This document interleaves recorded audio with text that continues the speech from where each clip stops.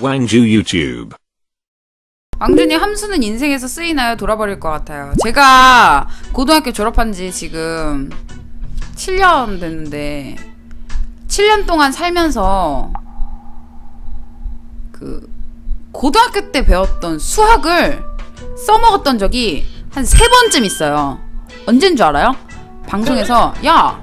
나 공부 잘했어 고등학교 때. 어? 2a분의 마이너스 b 플러스 마이너스 루트 b제곱 마이너스 4ac 근의 공식 어?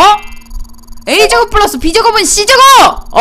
이럴 때 세 번 썼어요. 그리고 쓴 적이 없어요 제가. 계산기 쓰지 뭐 더하기 빼기 하는 것도 다 계산기야. 다 계산기 쓰지. 쓸 데가 없어요 근데 뭐 나는 내가 지금 하는 일이 이러니까 그렇지만 또 수학이 쓰이는 일을 하는 사람들이 있을 거 아니야. 되게 저런 저런 공 공 공 아 뭐라 그러지 그 막 기계 쪽이나 건축 막 이런 데는 수학 되게 많이 쓰이지 않아요?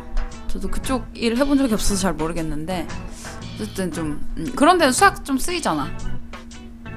애들이 술 취했다고 할 때 안 취한 거 보여주려고 근해 공식 말하는 거 빼고는 쓸데 없다.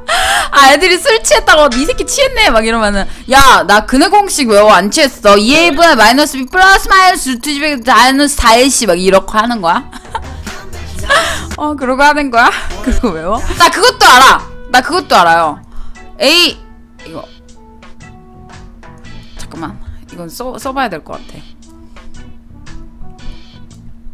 가로 열고 A 플러스 B 가로 닫고 가로 열고 A 마이너스 B 가로 닫고는 A 제곱 플러스 2A B 마이너스 B 제곱 이거 맞죠? 이거 맞죠? 이거 아닌가? 이거 맞죠? 너 오래돼가지고 좀 오래돼서 인수분해? 아 이거 중학교 2학년 때 배운 거야? 아 진짜? 중학교 때 공부를 안 해가지고 고등학교 때 배웠을 거예요 그럼 저는. 아 그렇구나. 어쨌든.